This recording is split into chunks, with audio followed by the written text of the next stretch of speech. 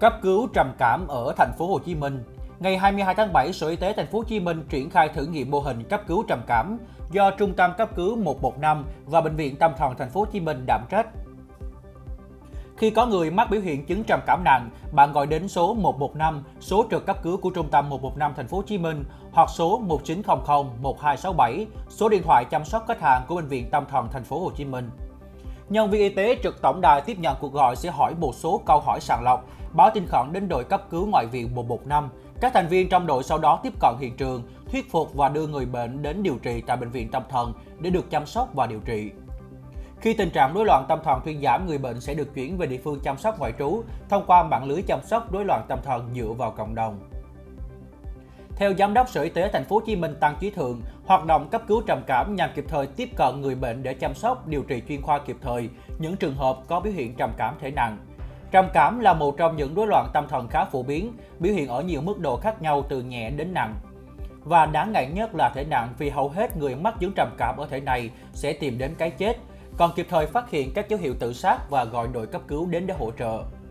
Biểu hiện của bệnh trầm cảm rất đa dạng, triệu chứng chung là buồn rầu, chán nản, bi quan, tuyệt vọng kéo dài hơn 2 tuần. Ngoài ra, người bệnh còn có cảm giác ham muốn, sở thích cá nhân hay mệt mỏi, giảm tập trung, do dự không quyết đoán, giảm tự tin, nghĩ về tương lai ảm đạm bi quan, rối loạn ý định và hành vi, rối loạn giấc ngủ, ăn uống kém.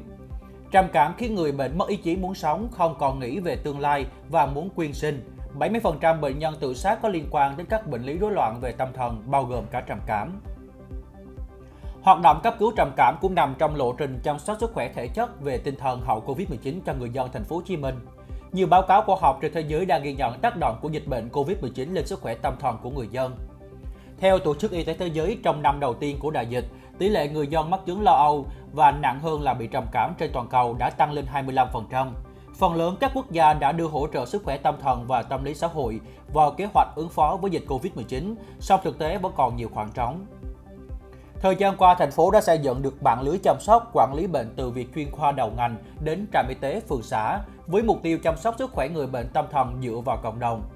Hiện tại, các bệnh viện thành phố có khoảng 90 bác sĩ có chứng chỉ hành nghề chuyên khoa tâm thần. Các phòng khám tâm thần thuộc các trung tâm y tế quận huyện sẽ chăm sóc, quản lý người bệnh tâm thần đã điều trị ổn định từ các bệnh viện có chuyên khoa này. Trạm y tế phường xã chăm sóc người bệnh tâm thần ổn định và đến nhà cấp phát thuốc cho một số trường hợp đặc biệt. Sở Y tế Thành phố Hồ Chí Minh đào tạo nhân viên y tế, cộng tác viên điều trị tâm lý tại tuyến cơ sở, chăm sóc và nâng đỡ tinh thần người bệnh bằng các biện pháp tư vấn dinh dưỡng, chế độ luyện tập, kết hợp các phương pháp y học hiện đại và cổ truyền.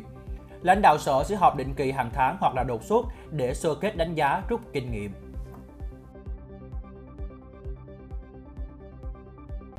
Hãy đăng ký kênh Alo Bác sĩ Video để nhận thêm nhiều thông tin mới nhất về y tế, sức khỏe